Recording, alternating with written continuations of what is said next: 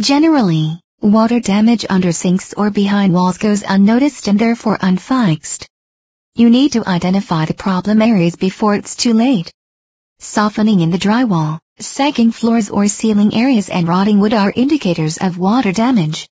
Generally for a pipe that is leaking very slowly, it could take days, weeks or even months before the damage is noticeable. Unfortunately by then the repairs become very expensive. The thing to remember about leaky pipes is that the repair of such plumbing problems is best left to the professionals. If you try to make it a DIY project you might unintentionally turn it into a bigger problem. Always call in a professional plumber to fix these problems for you. Though fixing the pipe is a less expensive process, and in most of the situations is sufficient to solve the problem, it is usually better to just replace the pipe so as to prevent any more leaks springing up from the pipe. You can consult your plumber on this and use his recommendation. When you have plumbing and drain cleaning concerns rely on A. Mr. Rooter call 405 399 0935.